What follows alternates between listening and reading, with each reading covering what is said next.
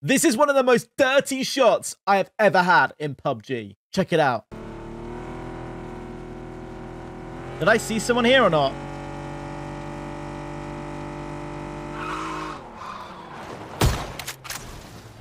What? Thank you. Appreciate you.